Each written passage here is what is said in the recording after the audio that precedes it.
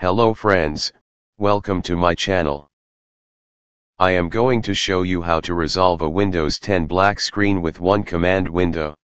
When you are opening Windows so might typically receive this black screen with mouse cursor, no more desktop. You can see my cursor on the screen.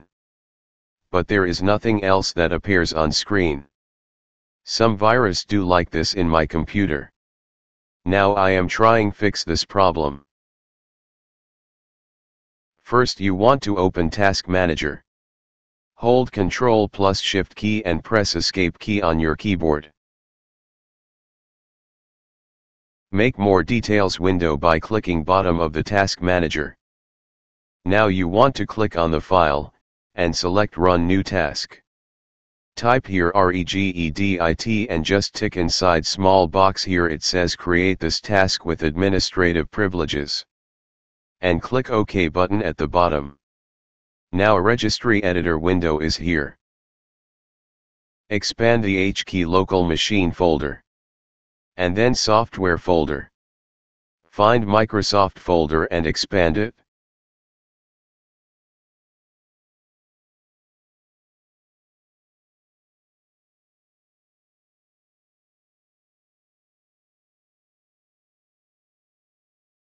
And Windows NT also.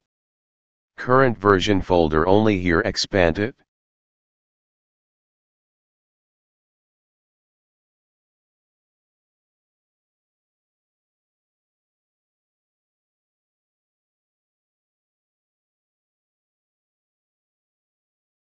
Find WinLogon under current version.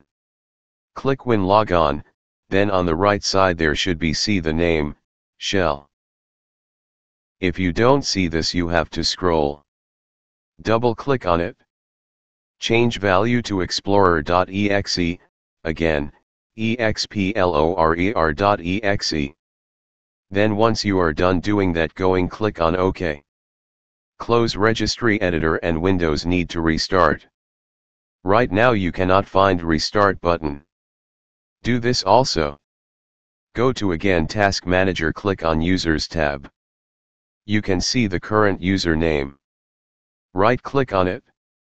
Click Disconnect and disconnect user.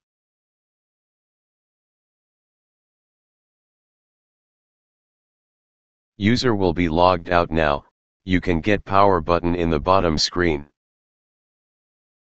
Click that and restart Windows.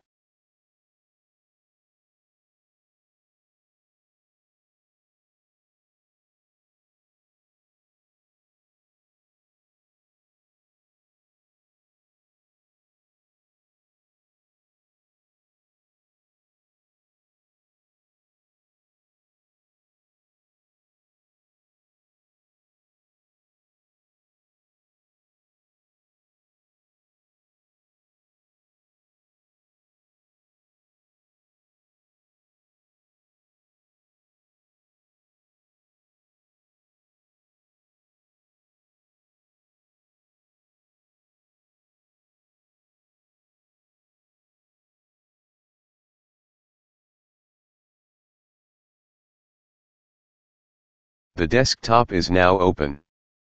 That problem has been solved. Thanks for watching my videos.